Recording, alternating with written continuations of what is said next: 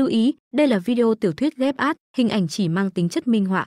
Video sẽ tập trung vào tính cách nhân vật, phân tích cốt truyện. Nếu các bạn thấy hay hãy subscribe và bật chuông thông báo để theo dõi tập mới hàng ngày nhé. Vẫn là trước lo lắng cho vận mệnh của mình đi. Trên mặt Vi Thanh lộ ra vẻ châm chọc, hai tay tạo thành chữ thập, trước người nhất thời tuôn ra năm con côn nô, ngũ quan không biện, sắc mặt trầm ngưng, bao quanh Ninh Khả Vi. Trong tay côn nô đều có huyền khí, có đao kiếm chiến kích, mạnh mẽ chém tới. Hừ, thân ngoại hóa thân đích xác thần kỳ, như những côn nô cửu tinh đỉnh này, không cảm thấy quá kém sao? Không gian giữa hai ngón tay Ninh Khả Vi lóe ra kim quang, lâm không vẽ phù trận, nhẹ xích một tiếng, vỗ ra. Trận phù kia vừa chuyển, các loại kim quang hiện ra, kích bắn về bốn phương tám hướng. ầm, thân thể năm tên côn nô ở dưới kim quang trùng kích liền ngừng trệ, bị chấn lùi lại mấy bước, lần thứ hai vận chuyển nguyên lực chém tới. ầm ầm, năm đạo quang mang hạ xuống, không gian chấn động, thân ảnh của Ninh Khả Vi sớm đã biến mất. Hừ, cùng ta chơi trốn tìm sao? Vi Thanh lạnh lùng cười nói, nếu biết không địch lại, sao không thúc thủ chịu chết? Hắn giơ tay lên, một bó kim quang hiện ra, hóa thành quyển trục, đột nhiên triển khai. Giang sơn như họa, hào kiệt trường tồn, nhất thời một mảnh kim mang lóng lánh, soi sáng trời cao. Trong kim quang là một mảnh sơn hà xã tắc, thần châu vạn lý, phong cảnh như tranh vẽ, muôn hình vạn trạng, to lớn trắng lệ, khí thế bảng bạc. Dị tượng chi cảnh như là phi hồng thác nước, xuyên thấu thời không, quyển về phía Ninh Khả Vi. Ninh Khả Vi chỉ cảm thấy không gian bốn phía bị kiềm hãm, con ngươi ngưng lại, hai tay bấm niệm thần chú, nhất thời tay áo phiêu động, trường bào phồng lên. Một mảnh lưu quang từ trong quyết ấn bay ra, lăng không hóa thành chiến qua màu đồng cổ, mặt trên có quang ảnh lưu chuyển, tràn đầy phù văn. Trên thân qua ngưng khắc bốn đại tự cổ truyện là lưu quang tường phi. Sắc mặt Vi Thanh đại biến, hai tay chập lại, năm côn nô trong nháy mắt hóa thành lưu quang tiêu thất, dũng mãnh vào trong cơ thể hắn, hắn hét lớn một tiếng, song trưởng vỗ ra. Một huyết ấn bay vào quyển trục màu vàng kia, nhất thời dâng lên một mảnh đỏ tươi, trước mắt tà dương treo phía tây, bắc phong lạnh thấu xương, cầu nhỏ nước chảy. Giang sơn như họa, tàn dương như huyết, điên đảo càn khôn. Toàn bộ trời cao một mảnh huyết sắc, vạn lý dáng hồng, mặt trời chiều ngả về tây, vô tận sinh cơ trong nháy mắt trôi qua. Khắp người Ninh Khả Vi lần thứ hai nổi lên nếp nhăn, đồng thời xuống phía dưới thật sâu, bị một đạo hồng mang bao phủ. Hừ, lưu quang tường phi, hắn điểm nhẹ quyết ấn, chính qua thoáng cái bay lộn lên, vô số phù văn tụ lại, kim quang lưu chuyển. Quân không gặp, hoàng hà chảy xuôi, vĩnh viễn không quay đầu. Chính qua vang lên tiếng ong ong, rung động cửu tiêu, như là một khúc bi ca, từ trong năm tháng viễn cổ quanh quẩn mà đến, khí trùng sơn hà. Tay trái của Ninh Khả Vi nắm chiến qua, tay phải bấm niệm thần chú, hóa thành ba đạo tàn ảnh. Tàn ảnh bên trái bấm niệm thần chú, chiến qua hóa thành hàng vạn hàng nghìn, diễn biến đại đạo, vũ ý khác nhau tương hỗ xông tới. Nhận một chiêu vạn lưu vô hối của bản tọa. Tàn ảnh chính giữa giơ chiến qua lên cao, từng vòng cổ văn ở quanh thân lưu chuyển, tinh hám bầu trời. Nhận một chiêu kính quang phổ chiếu, tàn ảnh bên phải có xương lạnh bay lộn, đại tuyết tràn ngập, gió lạnh nổi lên bốn phía, nhận một chiêu hắc tì hóa tuyết. Lực lượng kinh khủng dâng lên, như thạch phá thiên kinh, vân khai nguyệt minh, chém về phía Giang Sơn như họa, tàn dương như huyết kia.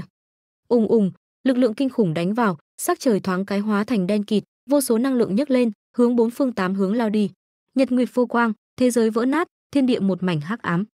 Con mẹ nó, lại nữa rồi, lại là loại lực lượng kinh khủng đến cực điểm này, cuốn chiếu thế giới vạn vật.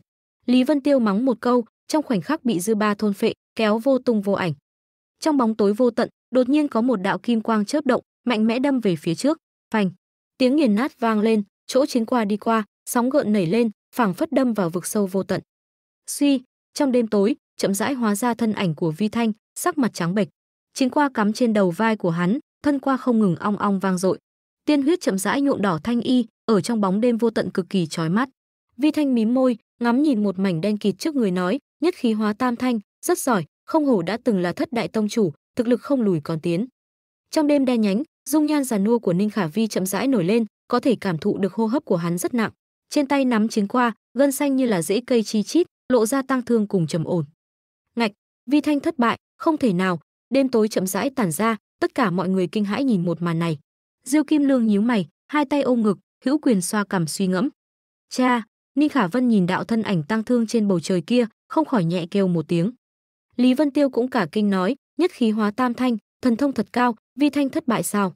Tất cả mọi người ngừng chiến đấu trong tay, khiếp sợ nhìn trời cao. Nếu Vi Thanh bị giết, như vậy tranh đấu liền kết thúc, đánh tiếp nữa cũng không có ý nghĩa. Ninh Khả Vi ngưng mắt, lạnh giọng nói, Vi Thanh, thân phận người đánh cờ của ngươi đến đây kết thúc. Ván thiên hạ đại kỳ này, không còn quan hệ gì tới ngươi. Lưu quang bay lượn, kim mang lóe lên, vô số phù văn tuôn ra, mạnh mẽ đâm về phía trước. Đang, thanh âm kim trúc kích động truyền đến, chính qua lại không thể đâm vào mảy may. Cái gì? tất cả mọi người run lên lộ ra thần sắc kinh hãi đồng tử của ninh khả vi đột nhiên co rút trong lòng thầm nghĩ không xong trái tim trầm xuống miệng vết thương bị chính qua đâm vào của vi thanh hiện ra sóng gợn kim sắc nhộn nhạo lên trong da thịt mơ hồ có thể thấy được cốt cách màu vàng còn có phù văn thật nhỏ ngưng khắc trên đó sắc mặt của ninh khả vi trong nháy mắt khó xem cắn răng nói đại la kim cốt khóe miệng của vi thanh khẽ nhếch, hàn khí trong mắt bắt đầu khởi động nói, hiện tại ngươi biết chênh lệch giữa hai ta đi. Mất đi tư cách kỳ thủ là ngươi, ninh khả vi đã từng oai phong một cõi, phiến thiên hạ này đã không phải là những lão nhân các ngươi có khả năng nhúng chạm. tay phải của hắn nắm lấy chiến qua, trên tay phải quanh quẩn kim quang, có tiếng sấm nổ mạnh rít gào ở trong đó, hét lớn một tiếng nói, an tâm chết ở trên bờ cát đi. Sắc mặt ninh khả vi phát lạnh, vận khí vào tay, phong vân biến sắc, đón trưởng lực đánh tới, lạnh giọng nói, người nào chết còn chưa nhất định đâu ầm ầm, hai trưởng lực kích động, cọ rửa thân thể hai người, ở trên trời cao cùng phong gào thét. A, ninh khả vi đột nhiên kêu thảm một tiếng, từ trong tay trái truyền đến đau nhức. Chỉ thấy thủ trưởng của vi thanh từ lâu hóa thành long chảo kim sắc, trực tiếp bóp nát tay trái của mình. Cả người lý vân tiêu run lên, trong mắt giật mình không thôi, đây chính là bí pháp của khâu mục kiệt, đem chân linh chi khu cường đại nhổ chồng đến trên người mình. Gương mặt vi thanh dữ tợn, trên long chảo kim sắc kia dần hiện ra từng trận ấn lớn chừng móng tay, còn có long ngâm ẩn hiện trên đó long chảo màu vàng kia bạo ra, long ngâm nhộn nhạo, thanh ảnh lóe lên, lần thứ hai đánh tới. Dưới tình thế cấp bách, ninh khả vi chỉ có thể dứt bỏ chiến qua, tay trái bấm niệm thần chú, ngưng tụ một kim ấn oanh qua. Phanh, hai người đều khuynh lực, tứ phương phong vân kích động. Thân thể của ninh khả vi hiển nhiên yếu hơn, ở trong dư ba trùng kích bắt đầu run rẩy. Cha, ninh khả vân hô hoán một tiếng, mạnh phóng lên cao. Đột nhiên một đạo bạch quang hiện lên ở trước người, cự trưởng vỗ xuống, bạch cô đường cười lạnh nói có ta ở đây, ai cho ngươi làm càn? trong hồng quang, hắn bị đánh xuống phía dưới, chấn ra bụi bậm đầy trời. Vi thanh lạnh giọng nói, hơn 10 năm trước, lúc ngươi bị nghe thạch nhập thể cũng đã chết, cần gì phải thống khổ sống đến bây giờ? Sắc mặt ninh khả vi trắng bệch, cắn răng nói, bởi vì chuyện ta cần làm còn chưa thành, ta không thể chết được. Không thể chết được? Hóa, tuế nguyệt cho tới bây giờ chỉ chưa hận, sẽ không lưu người, và hoàng tuyển lộ hối hận đi thôi.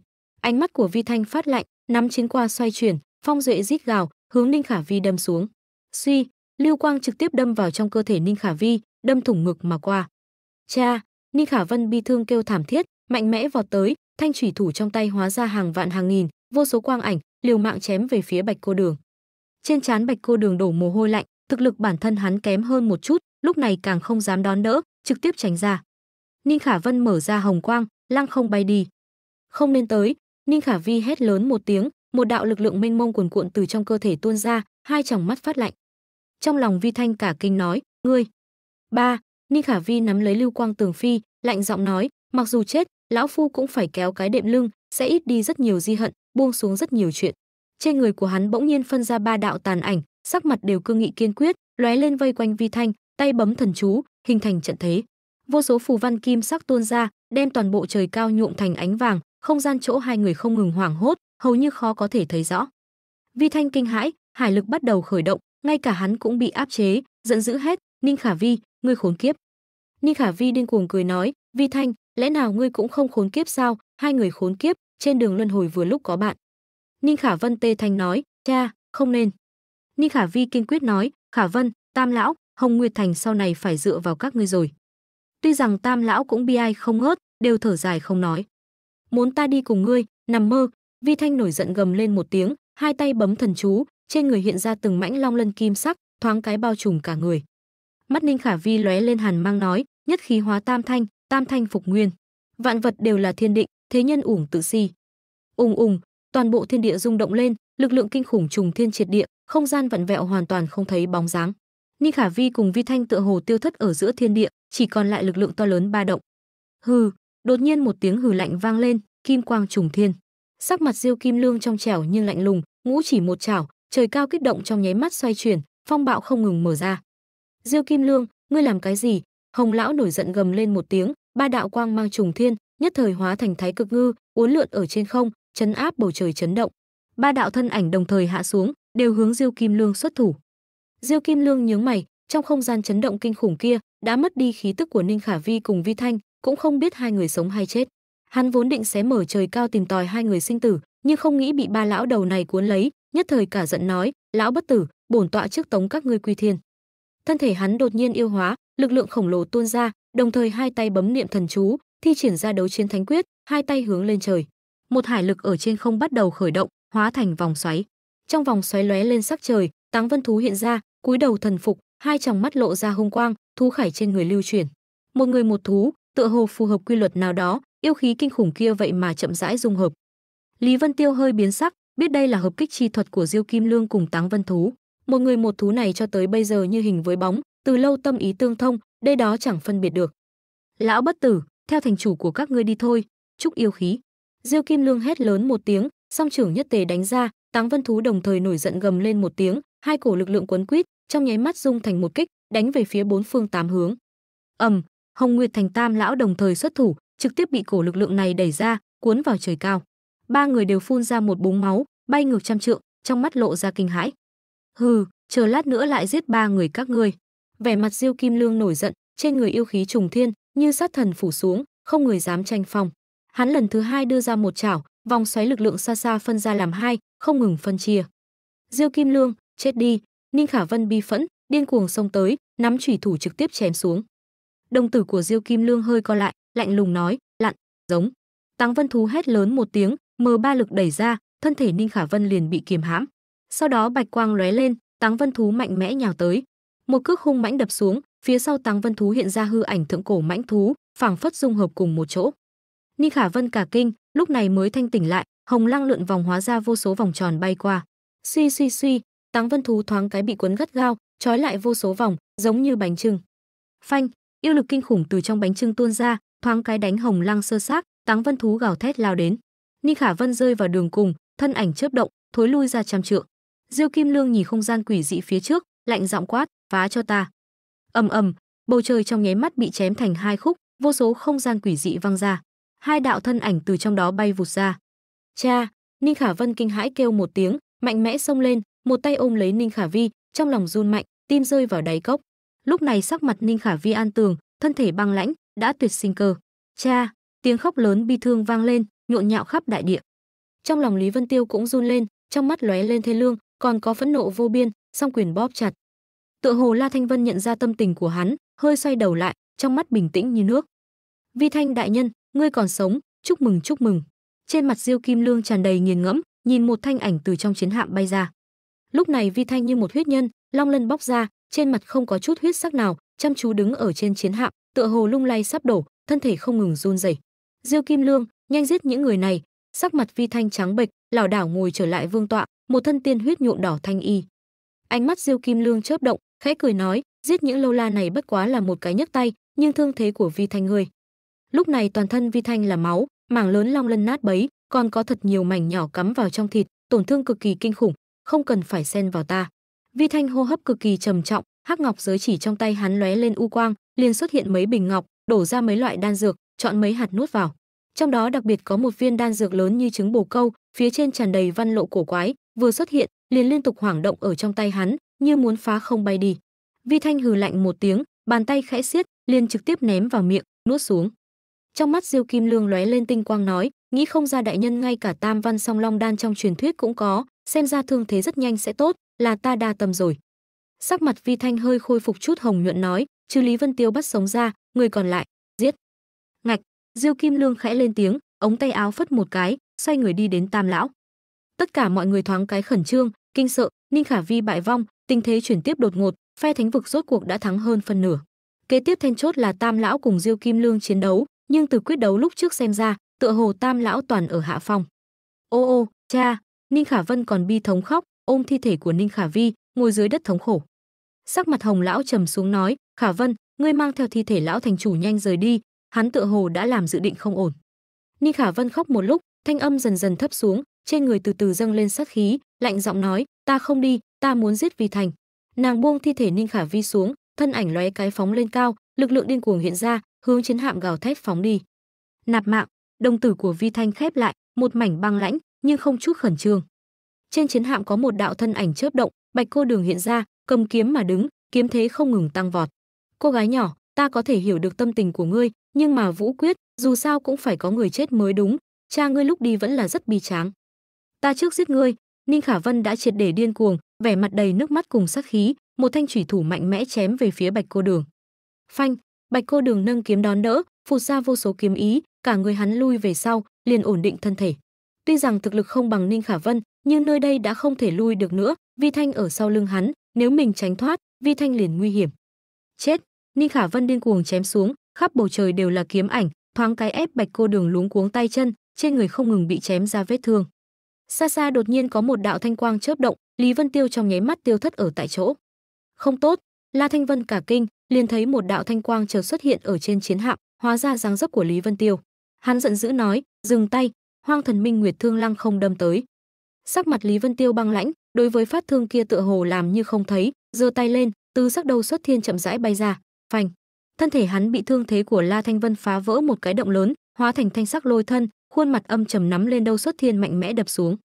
Ầm ầm, ngọn núi vừa ra tay, bầu trời liền rung mạnh, toàn bộ không gian bị áp xúc, tứ sắc quang mang lượn vòng. Địa thế khôn, hậu đức vật, toàn bộ chiến hạm đều ở dưới cổ khí tức kia uy áp rung động. Sắc mặt Vi Thanh đại biến, kinh hãi ngẩng đầu, khó có thể tin nhìn ngọn núi tứ sắc, tựa hồ muốn nghiền ép tất cả. Sắc mặt Lý Vân Tiêu băng lãnh, trong mắt một mảnh sát ý, lúc này là thời điểm Vi Thanh hư nhược nhất, cũng là cơ hội giết hắn tốt nhất, một khi bỏ qua, liền muôn vàn khó khăn. Ngươi là miệt thị ta sao? Thanh âm tức giận của La Thanh Vân truyền đến, lóe lên liền rơi vào bên cạnh Vi Thanh, thân thể chợt yêu hóa, gào thét đánh tới một quyền, chân long mạch lực, ầm ầm. Chỉ thấy long quyền đánh vào ngọn núi kia, La Thanh Vân đau đến quát to một tiếng, cánh tay trực tiếp biến hình, bên trong truyền đến thanh âm xương gãy, cả người bị cổ khí tức kia đánh bay. Nhưng vị trí đâu xuất thiên đập xuống cũng lệch ra, ầm một tiếng rơi ở trên chiến hạm, trực tiếp đập ra một cái động lớn, bị chấn xuyên thấu. Thổ hệ nguyên tố lực kinh khủng lan ra, Vi Thanh cả người mang ghế bay ra ngoài, ở trên không trung phun ra một búng máu tươi. Ngay cả Ninh Khả Vân cùng Bạch Cô Đường chiến đấu cũng bị thổ hệ nguyên lực trùng kích, hai người thoáng cái tách ra, cách nhau mười trượng giằng co. Trong mắt Lý Vân Tiêu đầy lửa giận, thân ảnh lóe lên liền xuất hiện ở phía dưới, tiếp được đâu xuất thiên. Trong lòng tất cả mọi người kinh hãi không ngớt, trọng lượng vật kia quá khủng bố, không rõ hắn làm sao cầm lên nổi. Vi Thanh, không phải ngươi muốn giết ta sao? Đi tìm chết đi, kiệt kiệt kiệt kiệt. Đột nhiên một cười tiếng quái dị vang lên, trên bầu trời hiện ra một ánh đao, mạnh mẽ chém xuống. Một lão nhân tóc bạc đột nhiên xuất hiện, chính là Khâu Mục Kiệt, trong mắt tuôn ra sát khí lang liệt. Sắc mặt La Thanh Vân trầm xuống, thầm hô bất hảo, bỗng nhiên hét lớn một tiếng, tay niệm thần chú, đồng thời trường thương ở trên không trung đảo qua.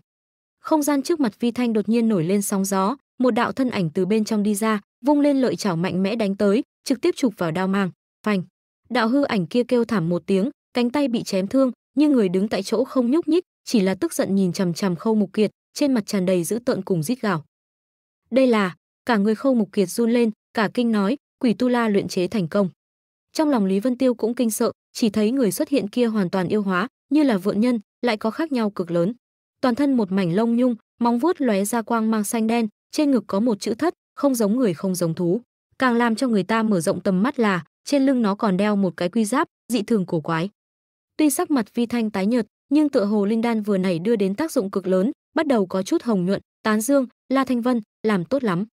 La Thanh Vân nói, ta thấy ngươi gặp nguy hiểm, nếu không gọi nó ra, sợ là không kịp. Vi Thanh lạnh lùng nhìn chằm chằm Khâu Mục Kiệt, trong con người chớp động sát khí, rồi mới hướng La Thanh Vân nói, không sai, trận chiến này gian khổ như vậy, là ta không ngờ tới. Đặc biệt là thực lực của Ninh Khả Vi, thiếu chút nữa muốn mạng của ta. Nếu đã gọi nó ra, vậy thì làm cho tuyệt, vừa lúc thanh trừ toàn bộ dư nghiệt nơi đây, trợ giúp ngươi leo lên chức thành chủ của Hồng Nguyệt Thành. La Thanh Vân nhíu mày một cái, tựa hồ có chút do dự, nhưng rất nhanh liền nói, "Vâng." Chiến thương trong tay hắn đặt trên cánh tay, tay bấm thần chú, không gian bên người không ngừng nổi lên sóng gió, tổng cộng có 9 đạo vòng xoáy. Trong mỗi một vòng xoáy đều truyền đến khí tức kinh khủng, chậm rãi đi ra một gã phi nhân phi thú. "Ngươi, ngươi thực sự làm xong rồi." Khâu Mục Kiệt nhìn lại, nhất thời kinh hãi nói, "Làm sao ngươi chế ngự được bọn chúng?" Lý Vân Tiêu cũng kinh hãi không ngớt, bên cạnh La Thanh Vân đi ra chín con phi nhân phi thú, từng cái khí tức dị thường cường đại, hơn nữa tất cả đều phi thường quái dị. Có ngưu đầu thân rắn, có trên đầu bốn sừng, có trên đầu hai sừng, chủng loại cũng khác nhau. Còn có một cái bốn đầu tám tay, so với chân ma pháp tướng còn muốn kinh khủng.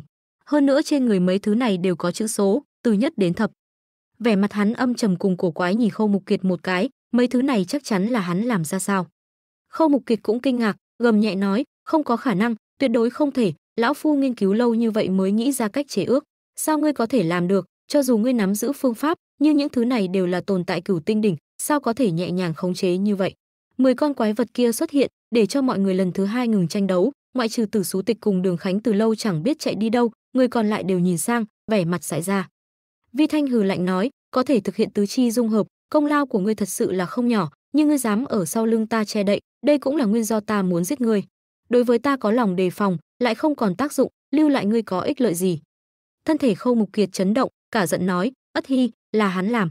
Hắn giận dữ hết, không có khả năng, điều đó không có khả năng, Ất Hy là nghĩa tử của ta, làm sao có thể phản bội ta? Vi Thanh khinh miệt nói, người thường đi chỗ cao, thủy hướng chỗ thấp lưu. Theo ngươi, hắn chỉ là một người bị đuổi giết khắp thiên hạ, theo ta lại có thể quang minh chính đại làm một thuật luyện sư, ngươi nói hắn lựa chọn như thế nào? Ngươi, ngươi, tựa hồ Khâu Mục Kiệt bị kích thích quá độ, phun ra một ngụm lão huyết, khuôn mặt oán độc. Lý Vân Tiêu từng nghe Cố Nguyệt Sinh nói qua, Khâu Mục Kiệt có vô số đệ tử, nhưng đều mang tính chất vật thí nghiệm, chỉ có hai đệ tử mới là chân truyền của hắn. Một người trong đó là Dương Nguyên Thư bị bản thân giết chết, như vậy người thứ hai hẳn là nghĩa tử Khâu Ất Hy kia rồi. Trong mắt Khâu Mục Kiệt tràn đầy oán độc, thoáng bình phục tâm thần, mới nói, "Tốt, cho dù ngươi dùng bí pháp của ta, thực hiện Quỷ Tu La đại thành, nhưng lấy tính chất cuồng bạo của Quỷ Tu La, làm sao sẽ nghe ngươi chỉ huy?" Vi Thanh cười nói, "Thế nào, ngươi cũng muốn làm ra một đội ngũ sao? Nói cho ngươi biết cũng không sao, là huyết mạch chi lực." Huyết mạch? Khâu Mục Kiệt nhíu mày. Lý Vân Tiêu cũng trầm tư, còn đám người Bạc Vũ Kình, bọn họ đều là thuật luyện sư đứng đầu, tuy một màn trước mắt thật sự có chút ác tâm, nhưng không nghi ngờ là thành tựu thuật đạo vĩ đại. Bỗng nhiên Khâu Mục Kiệt cả kinh, hoảng sợ nhìn La Thanh Vân, cả kinh nói, "Long huyết, chân long trì huyết." Trong lòng Lý Vân Tiêu cùng Bạc Vũ Kình cũng chấn động, tựa hồ có chút hiểu ra. Đặc biệt là Lý Vân Tiêu, vừa rồi cùng La Thanh Vân đánh mấy chiêu, thực lực của đối phương tăng lên quá mức kinh khủng, hơn nữa chân long chi hàng, càng là long uy hách hách, thuần khiết không gì sánh được. Vi Thanh cười nói, ha ha, không sai, Phong Tử Kiệt, ngươi thật sự rất giỏi, một điểm liền hiểu. Trong cơ thể 10 tên quỷ tu la này dưới vào long huyết, chỉ bất quá đều là long huyết bán thành phẩm, mà trong cơ thể La Thanh Vân lại là chân long chi huyết chân chính. Tất cả mọi người chấn động mãnh liệt, chỉ cảm thấy trong đầu có chút trống rỗng. Hơn nữa trong lời nói của Vi Thanh, tựa hồ để lộ ra bí mật thập phần kinh khủng, thành phẩm, bán thành phẩm. Khâu Mục Kiệt dung giọng nói, lẽ nào, lẽ nào ngươi đã có khả năng luyện ra chân long chi huyết? Vi Thanh lạnh lùng nói, cái này cũng không có gì đáng giấu giếm, dù sao ngày hôm nay các ngươi đều phải chết. Chân long chi huyết thì không đến mức, đây là chỉ tồn tại đứng đầu tất cả chân linh đỉnh phong, nhưng nếu chỉ là trình độ chân linh mà nói, ta đích xác đã có khả năng làm ra. Ngoại trừ sắc mặt Diêu Kim Lương vẫn bình tĩnh như cũ ra, tất cả những người khác đều hít một ngụm lãnh khí. Nhưng mặc dù là Diêu Kim Lương, cũng đầy vẻ ngương trọng, nhìn chằm chằm La Thanh Vân cùng 10 con quỷ tu la. Có thể tinh luyện long huyết trình độ chân linh, đúng là một việc cực kỳ kinh khủng, thậm chí có khả năng thay đổi toàn bộ thiên vũ giới. Phải biết rằng long tộc hậu duệ trong thiên hạ, chủng loại rất nhiều, không có một nghìn cũng có 800, ngay cả thiên lĩnh long gia cũng là lấy long đứng đầu chân linh mệnh danh tông phái. Thực lực những long tộc hậu duệ này cũng không đồng nhất, nhưng giống nhau duy nhất là nồng độ huyết mạch trực tiếp ảnh hưởng đến đẳng cấp thực lực. Tỷ như tứ hải vương tộc là chủng tộc truyền thừa tương đối thành công. Tuy rằng huyết mạch chi lực theo thời gian trôi qua từ từ suy thoái, nhưng so với long tộc hậu duệ khác mà nói, vẫn cường đại hơn nhiều lắm. Nếu xuất hiện một loại thuật pháp có khả năng trực tiếp chiết xuất huyết mạch, như vậy thiên hạ chắc chắn sẽ đại loạn. Không chỉ có long tộc hậu duệ, bao quát những chân linh hậu duệ khác, chắc chắn sẽ tịch quyển thiên hạ, trở thành một đời tuyệt thế chủng tộc mới. Mọi người ở đây đều là cường giả đứng đầu đại lục, thoáng cái liền nghĩ thông suốt lợi hại trong đó, sắc mặt đều rất khó coi. Vi Thanh quét mắt nhìn mọi người, khẽ cười nói, chư vị không cần lo lắng, loại để luyện chi pháp này cực kỳ chắc trở. Hơn nữa xác suất thất bại rất cao, có thể sản sinh ra vài tên cường giả chân linh huyết dịch cũng đã nghịch thiên, là không thể nào mở rộng. Lúc này mọi người mới thở phào nhẹ nhõm, ngẫm lại cũng phải, nếu có phương pháp nghịch thiên như vậy, kia thật sự là thiên hạ đại loạn. Vi Thanh cười nhạt nói, tuy rằng xác suất thất bại cực cao, nhưng những bán thành phẩm cũng phi thường tốt. Phối hợp Phong Tử Kiệt nghiên cứu ra trung cực thể, quả thực chính là thiên y vô phùng, thành cơ khí giết chóc lý tưởng nhất. Lý Vân Tiêu lạnh lùng nói, muốn chế ngự những quỷ tu la huyết mạch bán thành phẩm này, nhất định phải cần La Thanh Vân mang long huyết chân chính. Nếu có một ngày La Thanh Vân phản bội ngươi, vậy ngươi chẳng phải thoáng cái mất đi toàn bộ. Sắc mặt Vi Thanh cùng La Thanh Vân đều kịch biến, đồng thời bắn ra lệ mang, hung hăng nhìn chằm chằm Lý Vân Tiêu. Trong lòng mọi người dùng mình, thầm nghĩ Lý Vân Tiêu này thật là âm hiểm, thiên hạ khó dò nhất là nhân tâm.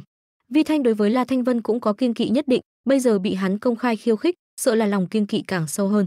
Vi Thanh lạnh lùng nói, ta và Thanh Vân là quan hệ hợp tác, vừa là thầy vừa là bạn, ngươi khích bác không được. Lý Vân Tiêu cười ha hà nói, ta chỉ là tùy ý nói mà thôi, không cần quá để ý, lấy trí tuệ của La Thanh Vân, tự nhiên sẽ không đi lên con đường của Khâu Mục Kiệt cùng Ninh Khả Vi. Sắc mặt Vi Thanh đại biến, tức giận nói, Lý Vân Tiêu, còn dám bịa đặt gây xích mích giữa ta cùng La Thanh Vân, bắt sống hắn, người còn lại đều giết. Sắc mặt La Thanh Vân trầm xuống nói, vâng, chiến thương của hắn vung lên, 10 tên quỷ tu la giống to, khí tức trên người tăng mạnh, kinh thiên động địa. Vi Thanh nói, mấy người các ngươi đều trở về đi, để cho quỷ tu la hảo hảo phát huy. Vâng, Bạch cô đường đại hỉ, hắn vốn bị Ninh Khả Vân ép sát, đánh tiếp nữa thậm chí có khả năng tử vong. La Tinh cũng thu huyền khí lại, lắc mình trở về bên người Vi Thanh, chiến hạm đã bị đâu xuất thiên đập nát, không thể dùng nữa rồi. Diêu Kim Lương nói, ba lão bất tử này đã bị ta kích thương, cũng phái mấy quỷ tu la thu thập bọn họ đi. Hắn ngoắc tay, Táng Vân thú liền trở lại bên người, trực tiếp đi tới phía sau Vi Thanh, tựa hồ không muốn xuất thủ. Sắc mặt La Thanh Vân trong trẻo nhưng lạnh lùng, trong tay không ngừng đánh ra quyết ấn. Mười tên quỷ tu la hét lớn một tiếng, hóa thành mười đạo quang mang vọt tới mọi người. Sáu tên trực tiếp vây quanh Tam lão, điên cuồng tấn công. Số lượng nhiều gấp đôi, hơn nữa hoàn toàn là lối đánh liều mạng, trong nháy mắt liền chế trụ Tam lão. Hai tên phân biệt nhằm về phía Ninh Khả Vân cùng Bạc Vũ Kình, hai người kia trong chiến đấu đã tiêu hao không ít, lúc này đối mặt hai gã quỷ tu la sắc mặt liền đại biến, vạn phần cảnh giác. Hai gã cuối cùng thì vây quanh Khâu Mục Kiệt, một tên kéo cái đuôi thật dài, trực tiếp quang tới, nổi lên một mảnh điện quang. Còn có một tên bốn đầu tám tay, mỗi tay đều nắm cửu giai huyền khí, như là trưng ngư điên cuồng khảm đến. Khâu Mục Kiệt biến sắc, lạnh giọng nói, phân phối cho ta hai cái, thật đúng là để mắt ta. Hắn mở ra phi dực, liền biến mất ở tại chỗ. ầm, chỗ hắn đứng nhất thời bị đánh thành mảnh vỡ, thần thức của hai gã quỷ tu la đảo qua, đột nhiên đuổi theo. Vi Thanh cười nói, Mục Kiệt đại sư chính là người sáng tạo trung cực thân thể, công lao thiên thu, tất lưu danh sách sử, tự nhiên phải được chiếu cố. Sắc mặt của Lý Vân Tiêu dị thường khó xem, cuộc chiến hôm nay muốn toàn thân trở ra hầu như là không thể nào, sợ là tất cả mọi người phải bỏ mạng. La Thanh Vân lạnh nhạt nói, Lý Vân Tiêu, chúng ta tiếp tục đánh. Lý Vân Tiêu lạnh giọng nói, La Thanh Vân, thực sự muốn cùng ta đánh một trận sao? Đồng tử của La Thanh Vân đột nhiên co rụt, chiến ý vô tận bộc phát, hưng phấn nói, ta nằm mộng cũng muốn đánh bại người. Lý Vân Tiêu, ngươi là tiêu chí của thời đại trẻ tuổi, là đỉnh phong mà tất cả mọi người muốn lướt qua. Lý Vân Tiêu nói, tốt, ta thỏa đáng ngươi, có gan cùng ta sinh tử nhất quyết, không chết không ngừng. Trên mặt La Thanh Vân lộ ra kinh sắc, lập tức cười như điên nói, ha ha, ta muốn chính là chiến đấu như vậy. Sắc mặt Vi Thanh đại biến, quát, La Thanh Vân, không được hồ đồ, hắn là muốn đánh chết ngươi, sau đó để cho 10 tên quỷ tu la không người khống chế. Ánh mắt La Thanh Vân phát lạnh, lạnh lùng nói, thì tính sao? Hắn nắm trường thương, đâm tới ngang trời, quát nói, chiến đi. Sắc mặt Lý Vân Tiêu băng lãnh, hắn đã hạ quyết tâm, vô luận như thế nào cũng phải đánh chết La Thanh Vân, bằng không loại vật quỷ tu la này quá mức kinh khủng. Mặc dù Vi Thanh có thể làm ra La Thanh Vân thứ hai, thứ ba, đó cũng là chuyện sau này. Hơn nữa Long huyết chân linh cấp khác, điều kiện hình thành nhất định dị thường hà khắc. Bằng không hắn cũng sẽ không đẩy La Thanh Vân lên làm Hồng Nguyệt Thành thành chủ. Như ngươi mong muốn, Lý Vân Tiêu khẽ quát một tiếng, đầu xuất thiên chậm rãi bay ra. Vi Thanh cùng La Thanh Vân biến sắc, hai người đều hết sức rõ ràng vật này lợi hại. Không gian dọc theo quỹ tích đầu xuất thiên phi hành đè xuống, chấn áp một mảnh bầu trời gấp khúc, La Thanh Vân đặt mình bên trong, hoàn toàn không cách nào né tránh. Quét ngang thập địa, La Thanh Vân hét lớn một tiếng, trực tiếp vén lên chiến thương, đánh tới đầu xuất thiên. ầm ầm, toàn bộ bầu trời run lên, như dòng nước bị phân liệt. Lấy đầu xuất thiên làm trung ương, tư sắc hung hăng áp chế thương thế lại, linh áp kinh khủng hướng bốn phương tám hướng nổ ra, chấn thân thể hai người hoảng hốt bất định. Trường thương ở trong linh áp có vẻ uốn lượn lên, khiến sắc mặt La Thanh Vân đại biến, chân long pháp thân. Hắn hét lớn một tiếng, mạnh mẽ vung trường thương, nhất thời hóa thành hình rồng phá tan thiên địa. Ầm ầm, hư không chấn vỡ, một long ảnh kết hợp với chiến thương, mạnh mẽ đâm tới Lý Vân Tiêu. Lúc này trên người của hắn bày biện ra từng mảnh long lân, long uy càng ngày càng mạnh, một thương kia tựa hồ vẫn chưa đem hết toàn lực, cũng đã để cho Lý Vân Tiêu cảm thấy hít thở không thông. Lý Vân Tiêu giật mình, dương kiếm chém tới, phanh. Đại lực trực tiếp đâm rách kiếm phong, mạnh mẽ chém ở trên người, như là bị sơn nhạc đập trúng, ầm một tiếng chấn nhập vào trong đại địa. Diêu Kim Lương cười rộ lên nói, xem ra Vi Thanh đại nhân lo lắng có chút dư thừa. Thực lực của Lý Vân Tiêu này bất quá so với Cửu Tinh trung giai vũ đế mà thôi, hoàn toàn không phải là đối thủ của La Thanh Vân. Sắc mặt Vi Thanh hơi dễ nhìn một chút, nói, La Thanh Vân người mang thập giai huyết mạch, ổn thắng là chuyện đương nhiên. Nhưng Lý Vân Tiêu biểu hiện cũng không bình thường, sơ suất rất dễ thua thiệt. Diêu Kim Lương than thở, ai, xem ra ta không có cơ hội kiến thức toàn bộ lực lượng của hắn, thật khiến cho người tiếc nuối. Vi Thanh hừ nói, ngươi yên tâm, thập giai thần huyết lực, tuyệt sẽ không để cho ngươi thất vọng. Cách đó không xa, Hồng Nguyệt Thành Tam lão rốt cục chống không được, bị sáu gã quỷ tu la đánh thổ huyết, không ngừng giống giận, nhưng vô lực xoay chuyển trời đất. Khâu Mục Kiệt cũng khổ chiến, miễn cưỡng chống đỡ. Bạc Vũ Kình cùng Ninh Khả Vân hơi khá một chút, dù sao chỉ có một đối thủ, nhưng mà quyết không thoải mái. Toàn bộ thánh vực hoàn toàn áp đảo, trong lòng mọi người kêu khổ liên tục. Lý Vân Tiêu bị chấn nhập đại địa, liền không còn một tiếng động,